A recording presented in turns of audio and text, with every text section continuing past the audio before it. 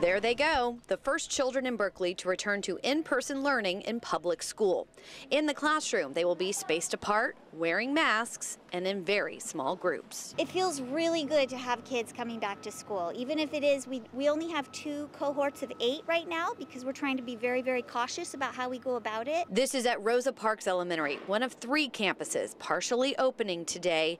District-wide, a total of 72 kids returned. These students are the students who really um, need extra support accessing distance learning. Um, and there may be different situations at home where um, there isn't the supervision that's needed or access to technology. Relieved parents told stories of distance learning difficulties at home. He's been really struggling to stay focused because he's been doing a lot of his distance learning by himself.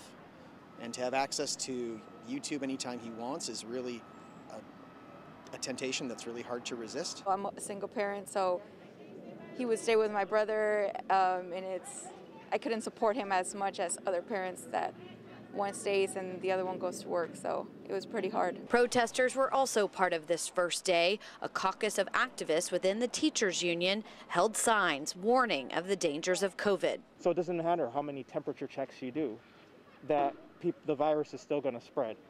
And, um, and we just think it's unacceptable to be forcing special ed and English language learners, some of our most vulnerable students, back to school during a pandemic. The protest made some parents uneasy. They say they did not feel forced to return to in-person learning. The kids are already having a hard enough time, and for them to come back here and to see the possibility that there are adults who are opposed to them coming back to school, I think is a confusing message, and I don't really think it achieves much. He could have stayed home if he wanted, but we wanted him to see um, how this was going to play out. He was just excited to just see everybody, yeah.